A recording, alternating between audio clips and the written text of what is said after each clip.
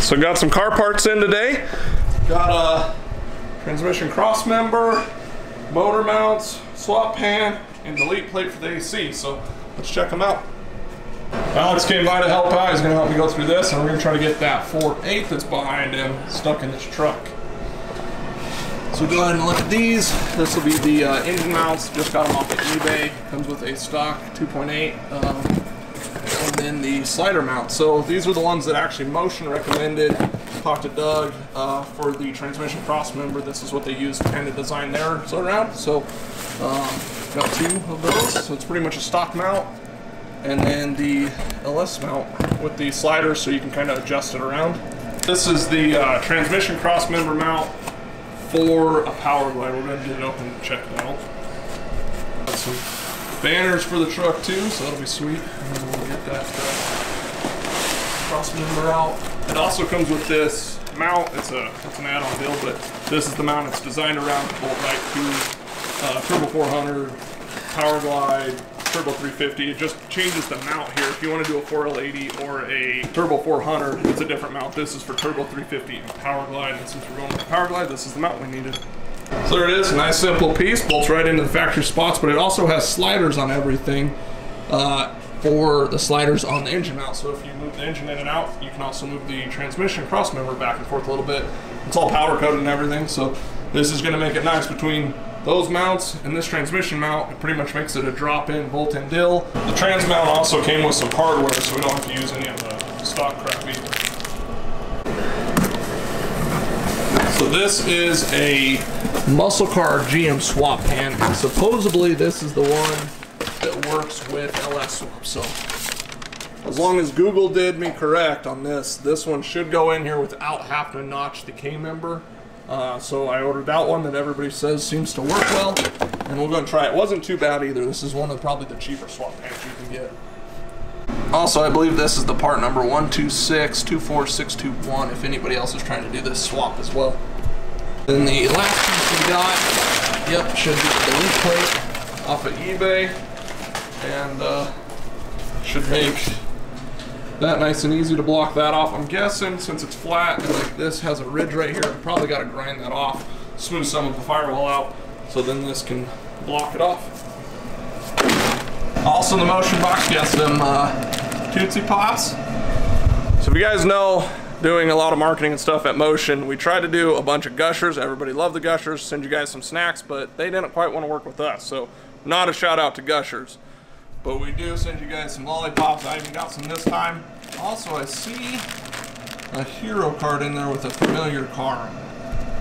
So I ended up getting all the hero cards. So this is pretty cool deal that they do. Uh, Doug kind of came up with this. Kenny's F-Body, Randy, Will's RX-7, it's so sick. Um, Fox Body's motion logo on there. John Kelly, no name race car, shout out to those guys. Whoa and then uh, Barry Cook, Cadillac Sean, and then the Buick made it on a hero card, so this is pretty sweet.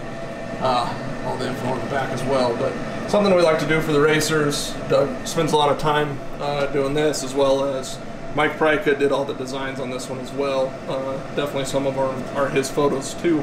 Might be most of his photos, but uh, yeah, guys. So huge thanks to Motion. Help me out with building the job, everything. So I can't uh, thank them enough. So if you guys don't shop there, you should. Help me out, help them out. And we're gonna use a bunch of their parts on this S10 build. So before we can get the engine mounts put on here, uh, I had to remove these. This is actually where the stock fuel comes through here. So we popped the fuel lines out, got those out of the way, and then you can reach down in here with a wrench to get these out. Uh, kind of a pain, but it works. But as you can see over here, there is no way. So I think I'm gonna take a little hole saw, cut a little notch here, try to reach back in there, maybe another one here so I can reach these two. Um, and then this way you can get a wrench in there to tighten up the motor mount bolts. I assume from the factory maybe they reached up in there through the spring perch or something. I don't know exactly. I mean this side you could do it, but this side I'd have no idea. Uh, I thought originally that this had like a threaded piece in insert into the K member, but it doesn't. So that kind of sucks. But that's all right. We're gonna go ahead and notch this like that and go ahead and do that. Uh, we don't have to put the fuel lines back in or anything because I'll end up running just a in line to the new intake and all that. So uh, this should work out okay. I'm gonna work on trying to clean this up a little bit more and get ready for the new mounts to go on, install those, and Alex is inside the truck, sleeping under the dash. Uh, he's trying to get the harness out uh, from the ECU, which will loosen this up and hopefully pull all this back. Mostly we only need these wires right over here for the, uh, the headlights and stuff, but we're gonna at least try to get it pulled back away from the main engine bay so we're not messing with that every time we're trying to put the motor in and out. And then we'll figure out what we need to do with all the wiring later. So got the K-member all cleaned up. Gonna go ahead and get the new motor mounts placed on this thing and go from there. Alex is still uh, battling. We got the main harness out. Now we're trying to work on the heater control harness.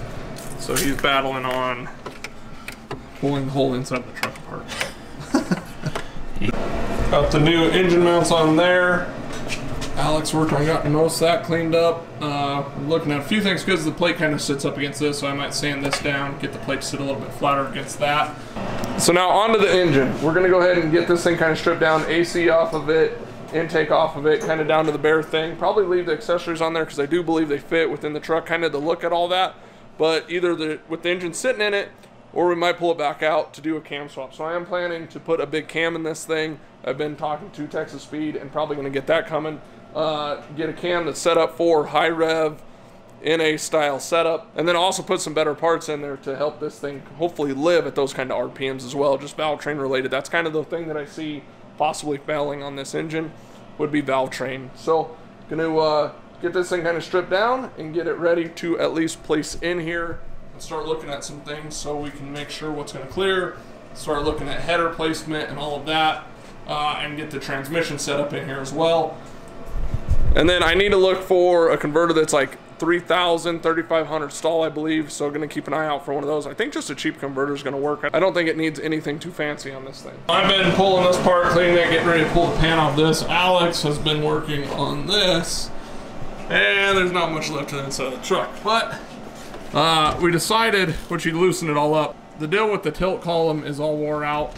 Uh, so we decided to just pull that column out and be doing big donuts and everything. We'll probably end up going ahead and putting like a motion column in there with a good steering wheel with possibly some buttons on it. I was thinking about put adding like a, uh, a two-step button to the steering wheel for like uh, being able to hit the two-step but lower it so it's not at 7,000 RPM or whatever it's at, you know, 3,500 or whatever. So you can come out and kind of pop it on the two-step and just just to put on a show. That's all that it is. So we will uh, continue to get the column out and all of that. I'll keep working on the engine, try to get the pan on it. It's coming along decently well.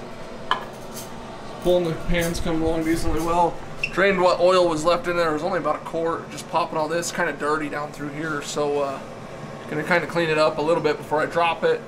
Just uh, drop the pan and I don't know what that bolt's doing in there, but it was sitting right there, which is really weird. Something else kind of crazy is the oil pan's actually cracked right there. So I don't know what's going on with that, but I will need to investigate. I'm not sure what takes a bolt like that in one of these engines, but I guess I'll look around. I don't think anything does. I don't know where that would have came from. So this being an 06, I figured it should have Gen 4 rods, and from what I can tell using the Google, these are Gen 4 rods. So have a little bit different style in the I-beam uh, portion of it, and a little thicker, I think, on the bottom there. So Otherwise, everything seems to be okay. I don't know how good the compression is in this motor. It seems not the greatest, but um, I think if I remember right, my 5.3 that I ran wasn't crazy either. So we will get the new pan slid on this thing and try to drop it in and see what it looks like. Got the new oil pan on, so I think it is time to start putting the engine mounts on. I gotta verify that I'm on the right side, but at least get it on maybe slightly loose so this can still adjust once we get it sitting in the truck. Uh, because I guess on all these, they usually want these slid all the way to the back, so you're getting the engine as far back as possible. Then it gains room for headers and also your uh, radiator and everything up front. So I think most of the time they end up all the way back on these engine mounts, or as far back as possible until you hit the uh, firewall. All right, so the new pan's on. We got the uh, transmission hooked to it. This is the power glide out of the Camaro. I actually need to get it rebuilt, so there's no converter or anything in it. I still need to get a flex plate also for this, so um, I'll end up getting both those coming and then final assemble it. Probably send the tranny off to have it at least cleaned up, uh, refreshing. I think the band's going bad because last time I used it in the Camaro, the uh, trans brake wouldn't hold. So I'm gonna go ahead and just set it in there, get everything locked up, make sure it's all good to go, and then kind of pull it apart. And then when it goes back together, that'll be it. Going to go ahead and try to set these in there together. I'm hoping that they'll slide in together, and then uh, you don't have to like separate them. Uh, but if you have to, I guess it's probably not that bad. But this will make it a whole lot easier, at least for mock-up and finding out exactly where the motor mounts need to go, because as you guys can see, they slide front to back on these. Hop in my car and giddy up. Secure the back, yeah, I get the bus. Pick it up, pick it up, pick it up. Ooh, I've been on the flex since flex zone. Neighborhood all in your eardrums. I ain't never scared like Bone Crush. Boy, I got God, don't fear none. My line busy, take no calls. Feels like I don't have no flaws. Snakes in the grass, cut those off. Yo, squad shit, you might. So this is about as far as we made it. We thought we'd be able to stuff them both in there. But if you look at how the pan is, uh, I'm pretty sure it's gonna need to go all the way. The, the engine pretty much has to come straight down into it because the pan's already hitting and it needs to come back a good, pretty much the whole thickness of the pan. So we need to gain all this, which is where the tranny's hitting the bell housing. So uh, we're gonna go pull it back out, get the tranny off of it, and then retry this with just the engine. Rose rock, no breaks, we go, go, go, go, go. Throw shade, that's a no, no, no. Go high, go low, low, low.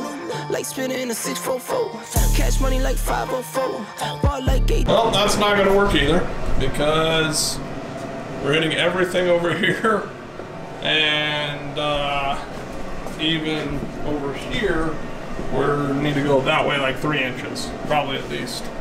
Uh, down and over, which then there's probably no way that the power steering pump's going to fit. I don't see how that would even fit, but I thought guys retained it, but maybe not. Maybe maybe I uh, skimmed too quick over the whole S10 LS swap thing. So we are going to uh, take a look at it, regroup, and figure this thing out. We uh, changed around these chains, so then we have a little more control and we're not binding the back. What we're doing is the chains are hitting on these screws, so just to give us a little extra clearance back here by the head, we're going to go ahead and just clip those off real quick. All right, we're going to try this one. We're going to try this one more time. D24. No sleep, need more, more, more. Pick it up, pick it up, pick it up, pick it up. You see the drippy, I'm fitted up. Hop in my car and the giddy up. Secure the bag, yeah, I get the bus. Pick it up, pick it up, pick it up. See the drippy, I'm fitted up. Hop in my car and the giddy up. Secure the yeah, I get the. So we're learning as we go. That side's set. This side we decided to pull off the block, set the motor mount, and bring the engine down to it. Uh, just to mock it up, as you guys can see, the intake right there is hitting. So you either have a choice of not putting it on with the intake, or you gotta do some hokey stuff like this. So uh, definitely learning that as we pull the engine in and out, we'd probably remove the intake completely first and then go. So then you're not running into it hitting right here with this. I mean, if that was removed, we'd probably gain some room and it'd probably go in just fine if the windshield wipers uh, motor was removed as well. We have an LS and an S10. It's not 100%, but uh, got all the bolts in the mounts. That's all looking pretty good. It is super tight back here. And we're just looking at this, and as you guys can see, that pinch weld kind of will give us a fight with getting the tranny up in here. So definitely need to come in there and trim up that pinch weld if I can show you guys. See right there where that pinch weld is kind of overlapping where the bell housing needs to line up. So we'll end up getting the engine back out, trimming that up, doing that, but uh, at least this gives us a good idea of where we need to be. This side looks alright, don't it? Yeah. Yeah. Just, up in that corner is our big fight. a little bit, yeah.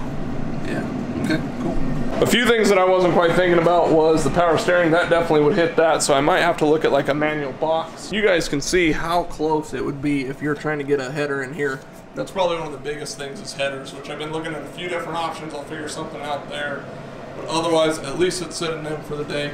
All right, everyone, the LS is in this thing. Gonna end it off here. We got some thinking to do with the engine mounts and deciding, I guess you could probably flip these and slide it forward a little bit. It would allow us to, with the oil pan where it's placed, the oil pan will give us another inch or two to slide it forward. Then that actually help get a tranny up in this thing. Uh, but either way, when we pull it out, clean up the pinch weld and all that stuff. So uh, definitely have a few things still to go, but we do have an LS in this thing. So thanks everybody for watching. Stay tuned for more, and we'll see you in the next video bullets ain't none. Try dig dirt, there ain't none. I make the money that save up. 10 to 80, my save ones. Take to the top on the base ones. New car, race on. Fast lane, pace on. With the booyah, that's a flex. Not human, I am from another planet. I'ma teleport, might vanish. I'ma wake up, do damage. Join number seven, these